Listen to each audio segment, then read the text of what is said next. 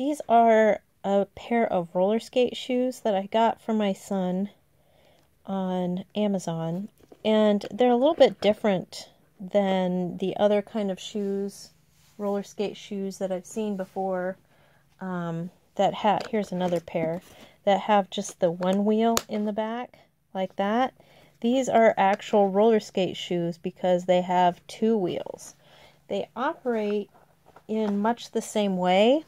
Um, they have the button in the back that retracts the wheel. So it retracts like that, and then there's a little window that covers it up. However, the front shoe, you have to use this tool that comes with it, and you slide it down in, and then you pop the wheel out. that was hilarious. Okay, so that's how you do it. And then it comes with these little slug type things. I don't know. So then it it conceals the the hole where the skate used to be. So you can wear them as regular shoes. You can use them as the Heelys like that or you can take that out and you pop the wheel in. And it takes a fair amount of force to do it.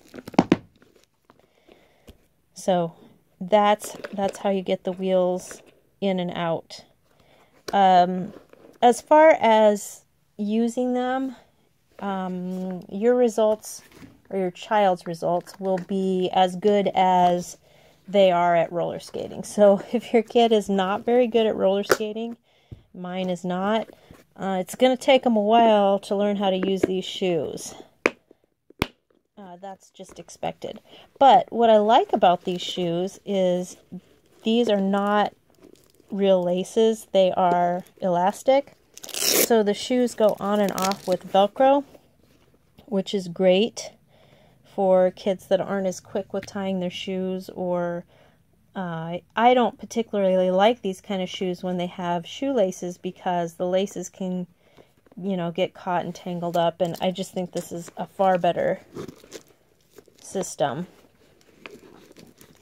They're pretty sturdy construction. They do make your child almost seem like they're wearing lift shoes or high heeled shoes just because of how high up they sit. And that does take a little bit of getting used to. I know that when my son walks around in these things, he does walk a little bit more carefully because his it it does kind of change uh, change up things a little bit. But once you get used to them, it's not a big deal.